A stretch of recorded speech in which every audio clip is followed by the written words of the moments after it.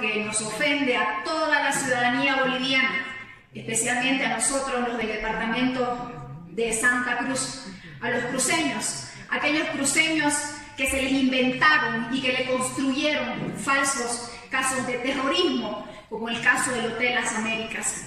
Tal es el ejemplo del presidente de la Asamblea Legislativa de nuestro departamento de Santa Cruz, Svonko Matkovic, que estuvo privado de libertad ocho años, injustamente, ilegalmente. ¿Ustedes quieren más ciudadanos presos?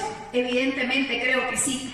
Este proyecto de ley solo va a servir para seguir con la persecución política, para seguir con las detenciones arbitrarias, para seguir incumpliendo el debido proceso, para seguir desconociendo la constitución política en nuestro país, para seguir con más abusos, más amedrentamientos y más hostigamiento.